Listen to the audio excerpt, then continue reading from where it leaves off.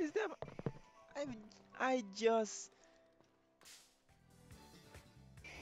I just put up my game. Yo, you've got to be kidding me.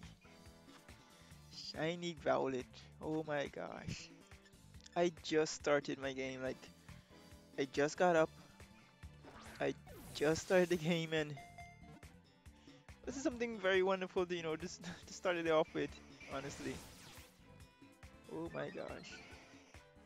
Would have thought, you know, all you had to do was go to bed and wake up back. And, you know, they appear. Shiny Growlithe. Oh, I guess we gotta hunt something else. Um, let's check it out actually. Um, is there any, uh, is there more? No, there, there isn't more. So let's go up here. Let's um, go to boxes. Uh, remove these eggs. Put it in the party. Switch it to this one. All right. So let's check it out. It doesn't have a mark, but that's okay. Um, shiny Growlithe. Cool. Nice. Um. Oh, I can't put it there. There's a shiny Growlithe. Look, look at the boy.